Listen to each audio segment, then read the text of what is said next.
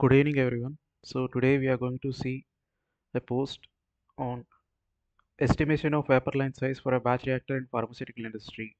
In 2016, I have made a text post about this particular uh, calculation. Since then, I have received multiple comments on that on to explain about the equation which is used in this particular calculation.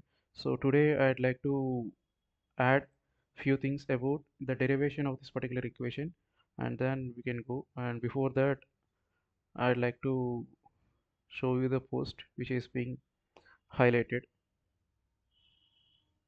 So this is the post like calculate required vapor column dia. And in this particular post we have used a equation which is basically derived from PV equals to nRT and this particular equation contains multiple constants. So these constants have been derived from certain basic equations but it is not mentioned clearly in this post. So I'd like to explain you now today. So getting into this topic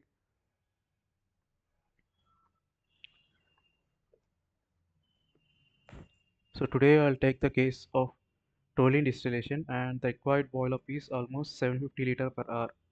And for the case so we are going to see how to estimate the vapor line size.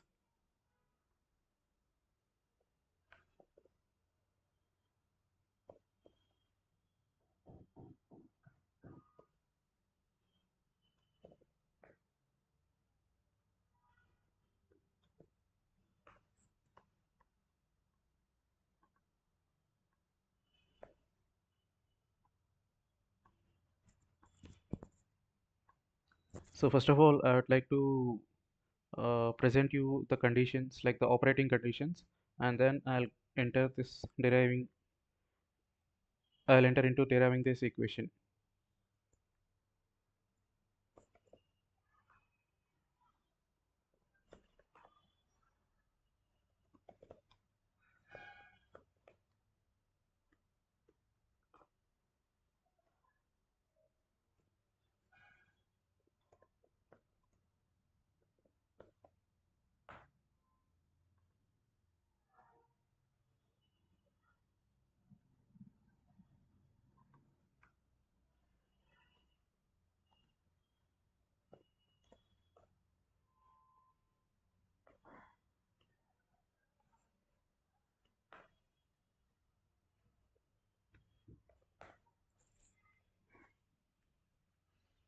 so the condition that I have taken is it's a vacuum distillation. So the vacuum which is available on the reactor let's say it's 740 mmHg so automatically the pressure is going to be about 20 torr.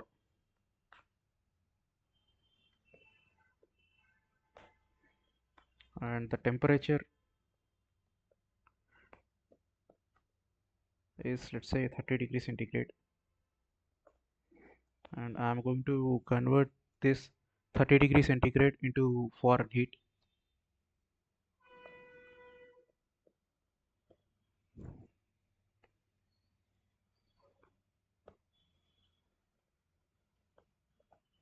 So it's 86 degrees Fahrenheit.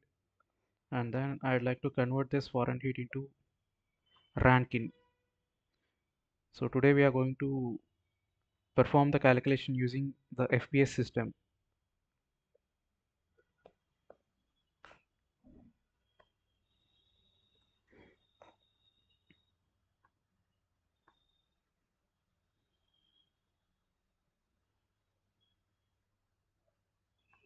So I'll convert this mass of boil up into lbs per hour by multiplying with 2.2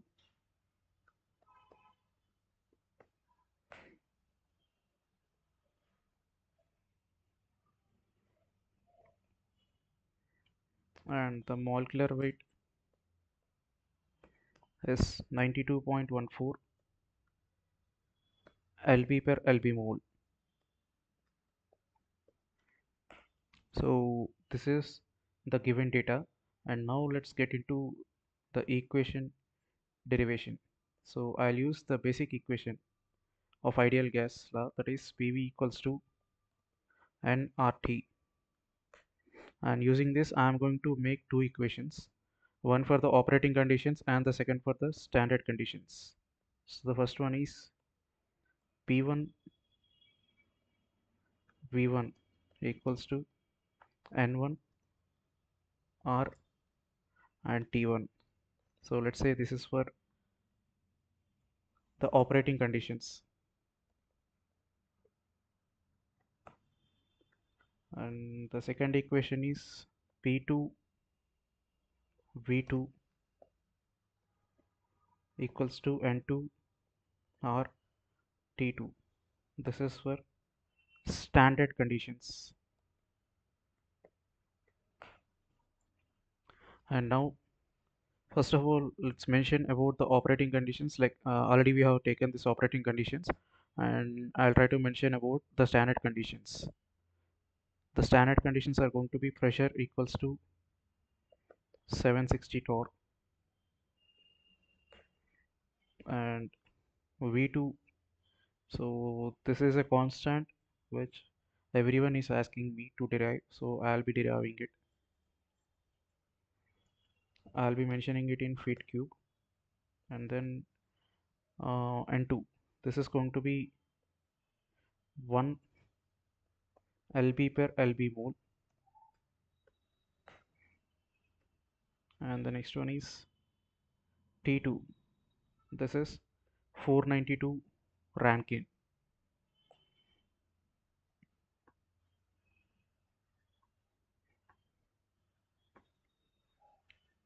so this 492 Rankine refers to 0 degree centigrade.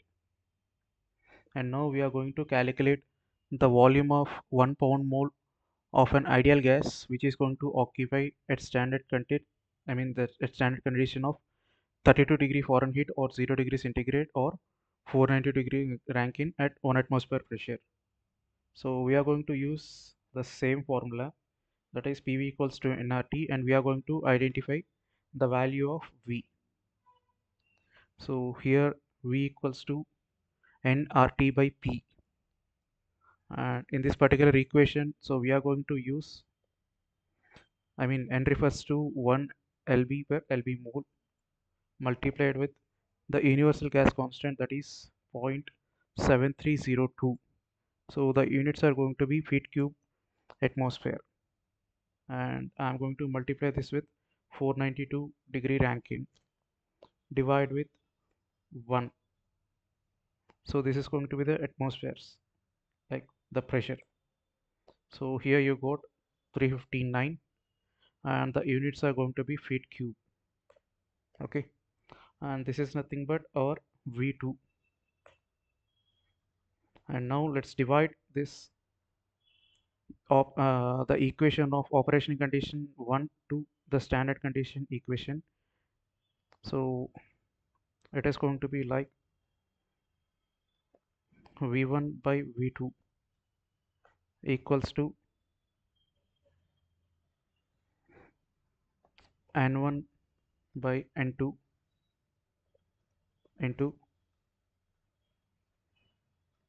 t1 by t2 into p2 by p1 so this is the equation. And now let's include all these parameters which are calculated. So here the v1 equals to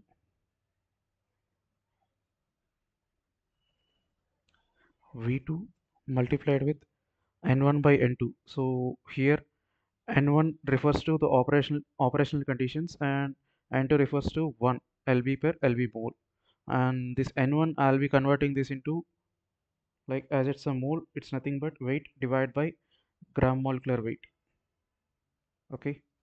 And t1 by t2 so t1 is the operational operational conditions and t2 is going to be the 492 Rankine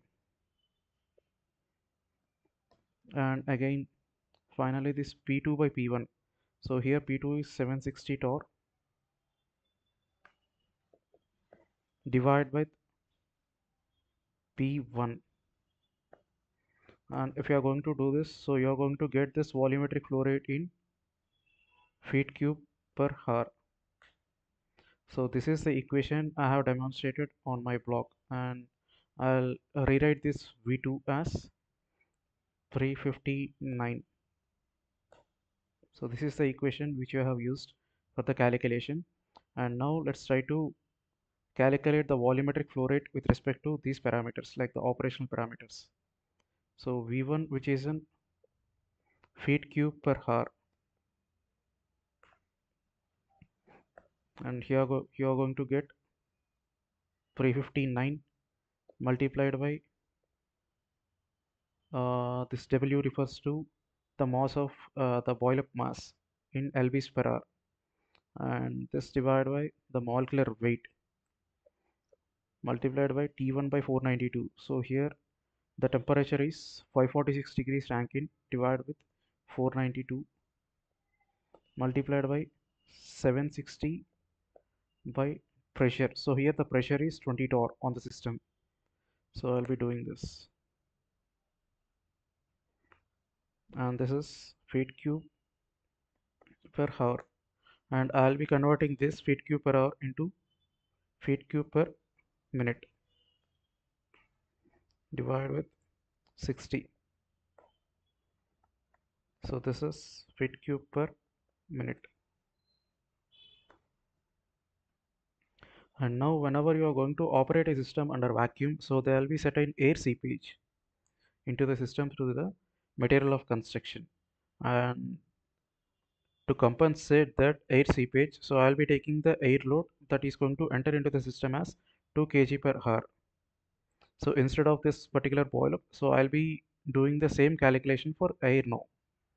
I'll mention it as VA that means it refers to air. So this is in feet cube per hour. First of all I'll be doing.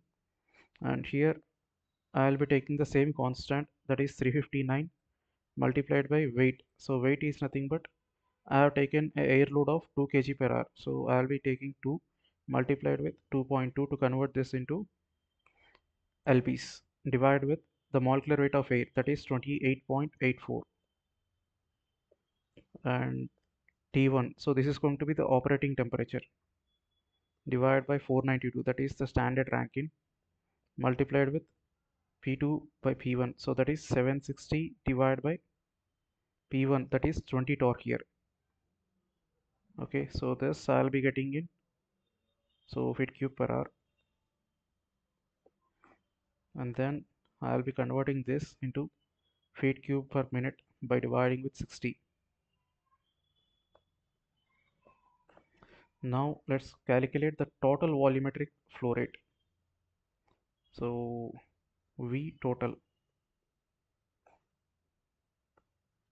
This is nothing but the summation of toluene plus the air seepage. So this is going to be in feet cube per minute. And now we need to divide this with the velocity under vacuum.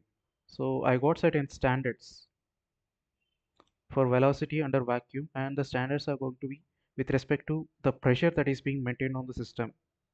So here I'll be mentioning torr and this is going to be velocity under vacuum in feet per second. So here it is 2 torr 5 torr 10 torr 20 100 and after this you can take directly a normal distillation. Like in between in between 100 to normal distillation you can take the same value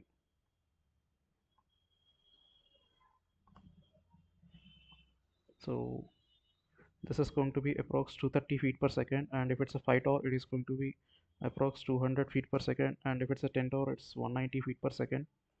And if it's a 20 torr it's 170 feet per second. And if it's a 100 torr it's going to be 150 feet per second. If it's a normal distillation so you can take in the range of 120 feet per second. And now let's divide this particular flow rate with this velocity and directly in order to get this diameter so I have defined an equation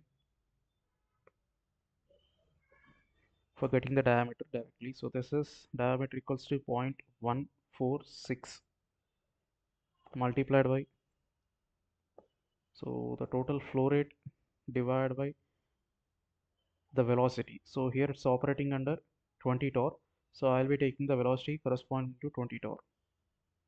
This to the power 0.5 so this is in feet. So I'll be converting this into inches now by multiplying with 12 so that means you need approx 9 inch of vapor line to get almost 750 liter per hour of boil up at 20 torr vacuum.